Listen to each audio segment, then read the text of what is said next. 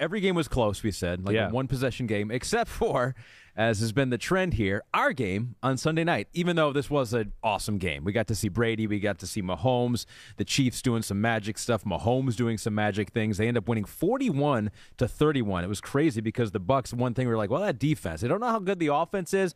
Defense has been the best in the NFL. They'd given up what nine points per game, Yeah, 27 been all year. phenomenal. Right. Chiefs had 28 at halftime. So let's start with with the quarterbacks. here. Because you look at the stats, Right. Tom Brady, of mm. course, he was bringing his team back, and I they, like where you're going with they this, They barely though. ran at all. But you look at the stats; it's like he 385, three touchdowns, no interceptions. You're like, wow, Brady had the better game. Patrick Mahomes, though, he also had three touchdowns. What is it about Patrick Mahomes right now? Right. You know, the stats might not jump, although the stats are still fine. Right. 249 yards, Yeah. three scores. What is it about Patrick Mahomes right now? Can you put your finger on what makes him so special? I, well, I mean, first off, the physical ability is crazy, right? We've never seen anybody with as creative as throwing the football as Patrick Mahomes. You know, let alone being able to do that, and then of course make every throw being creative as well, or make the standard throw when it's just hey, prototypical quarterback play. But like, like I, I think you heard me talking last night, and we were talking like it, it, it's hard to quantify. Like even looking at the game, and I, I like where you're going here, just because I looked up in the second quarter and I was like, the it's like you look at the stats, and I'm paying. You know, I always got a stat thing showing uh, on while I'm watching the game, and then I'm going, "Well, Brady's stats are better. He's throwing for more yards, quarterback rating." But there's no fucking way he's the better quarterback in the field for the first two quarters of that game. It's like it's it's really hard to quantify the Mahomes magic. It really is. It just seems like in every got to have it moment or got to have it play, he comes through. And even though it might not be, you know, a 40 yard or like surgical, surgical, surgical, 40 yard bomb, boom, boom, boom, it's just like it gets done. And then it gets done with a degree of difficulty at times where you go, hey, that was a cool play, but nothing was open. But damn, he just got it done as usual or made some play happen. So there's like a mixture of, wait, cool play. Yeah, we can be surgical, but also like this, like, it's not overly surgical. And then he can just make it happen that it, it's hard to really, yeah, put it into words at times. And I was saying this in the studio last night, like, you know how do you put it into words how do you do it like i, I it, it's so hard to explain like where yeah his stats don't just fly off the page at you but yet you're going there's no doubt who the best player on the field is so the stats aren't quantifying exactly you know his worth to the game or his worth to the Chiefs. And yeah, he was phenomenal last last night. He really was. And but the, here's my big thing with them: if they play like that right there. And you know them, like you know, we've talked about this a lot. They get an early turnover on the opening kickoff return, and I even said, like right as it happened, I was like, "Uh oh, this." I, I literally yelled out, "I go, the Bucks are going to be down twenty-one nothing before they blink," because this is just that's that's the Chiefs. It's like we talk about the Golden State Warriors. They hit a few threes, and all of a sudden you look up and you go, they're up by 35. The game they were down by two just a minute ago. They're they're unreal that way. But the game plan was impressive. The physicality was impressive, and then of course him added on to it is just insane. I don't know. Can you describe it? It's you like try a to wave. describe Of, it. It's like a wave of momentum. It's like that offense. I think the Bills' offense when Josh Allen It's definitely like that, That no Lamar doubt. when he's cooking. The Dolphins for one quarter when they're playing the but Ravens. what is defense. it about the like You- the statistics yet we know he's the best player. Like see even like even Yeah. allen goes through that too. Like yesterday like allen's stats don't jump off you. You're, you're right. Mahomes is to a greater aspect though of like the stats don't look good but you're like he's definitely made the best plays on the field and has been the best player on the field. You've put it well. He's think Steph, so? He's Steph Curry with a spiral. yeah Right? Yeah. I mean, it's just like, I think visually, the way he makes it happen. Right. Right? Sidearm going underneath a defensive lineman's arm so Right. it doesn't get batted down at the line of scrimmage. Right. We all saw the basketball touchdown throw Yeah. to Clyde Edwards the alley oop you mean he threw from half court Exactly. right I yeah. think visually he just Right. has more ways. Yeah. Creatively. Right. And he's not the most athletic quarterback out there. He's very athletic. yeah right think i got you, look but at- he's look not lamar and He's not Lamar. He's not Kyler Murray. Right. Right. But it just seems like the creativity, the way that he can move his body, Yeah. get himself into into areas that Awkward positions can make and everything. plays. Right.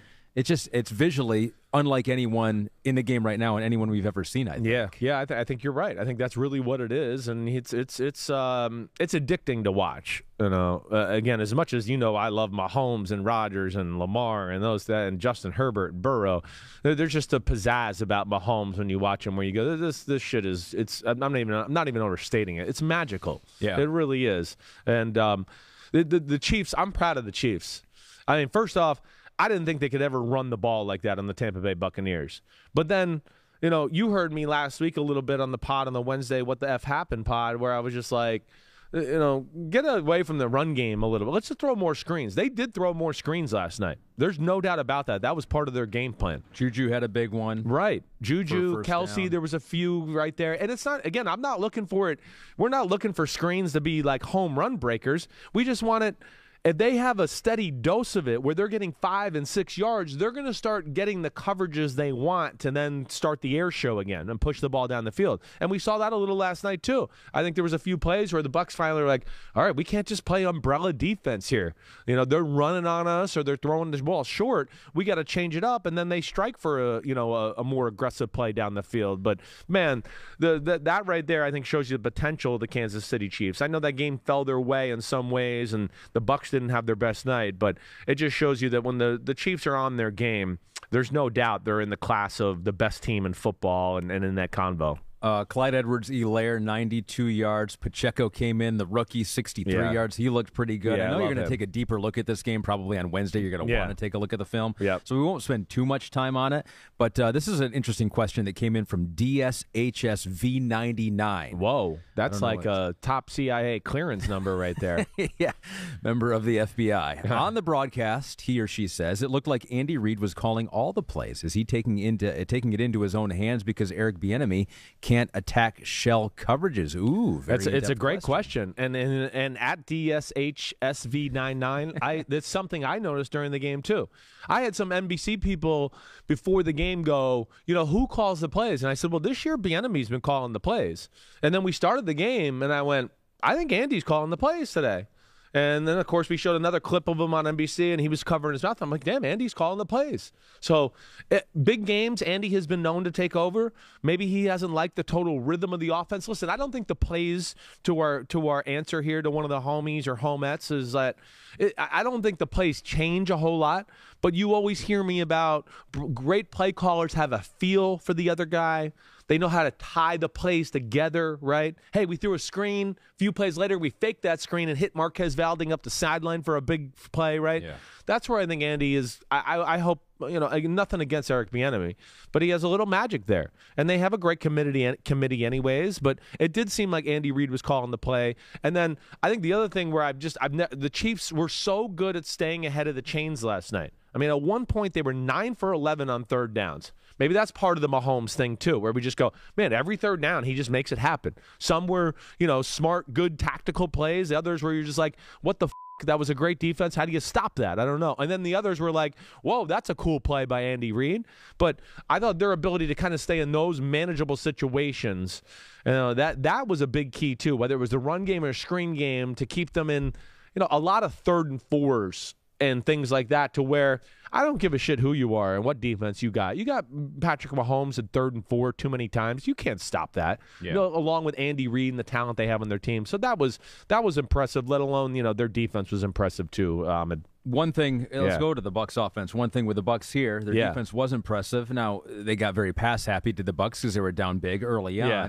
You've mentioned Todd Bowles wants his team to be more of a running team. Exactly. So hated the game yesterday. No, did, no doubt. Leonard Fournette carried it three times for negative three yards. They only had three yards total as a team in rushing compared to the Chiefs' 189. Was it just a matter of the game got away from them early and they had to change the way they they had to revert back to Tom Brady from last year? I, I, I think so. I think that's you know I think that game played out you know exactly the way they didn't want it to play out. Yeah. Should they have done that though? I mean, should they have tried to just still stay balanced?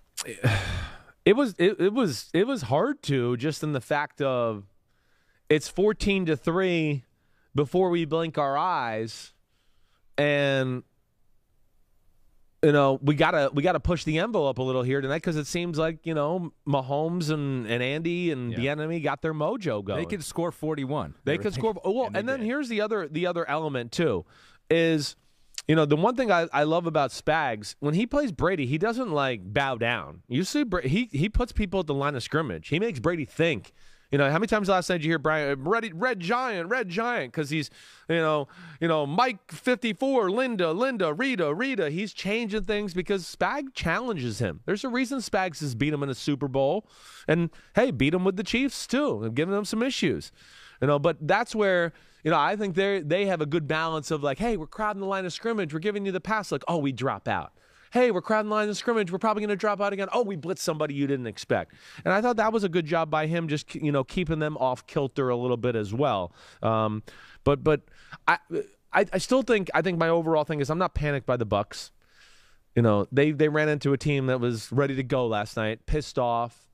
I Super Bowl hangover from two years ago. That's still in their mind. I, I, mean, Kelce and Mahomes, the leaders of the team, they were there. So was Chris Jones and Frank Clark. They don't forget that moment, you know. So I think they really got their A game there going last night. Yeah. And I think the Bucks are still a team that's kind of still finding their way a little bit as far as how they want to play as a complete team, and you know, trying to play this more balanced approach on offense, and we'll see if they can keep it going. I don't know. Maybe you go for it for a few more weeks. If they feel like it doesn't work, maybe you open it back up to the pass game. But mm. I, I, don't think you do that quite yet. I think you stay the stay with the plan. I think for the Chiefs too, and, and Peter like this. I think yeah. we finally gotten to the point where we don't have to mention anymore how will they survive without Tyreek Hill. I think now week going into week five. You think you think Tyreek Hill? I don't know. Right? I, I don't. I mean, I don't know. I mean, you can't listen to a breakdown of the Chiefs and them not bring that up on TV. I know it's, that's what I'm saying, but yeah. I think maybe it's dead now. No, I, maybe it's dead. I hope so. I, you know, I, it should be. And again, I think last night shows a lot, of, a lot too, a little bit again. The way they spread the ball around, yeah. it's hard. Other than Kelce, it's hard to figure, you know, who they're going against. And you know, I hear people say like, "Well, you just got to double Kelce." It's a very hard double.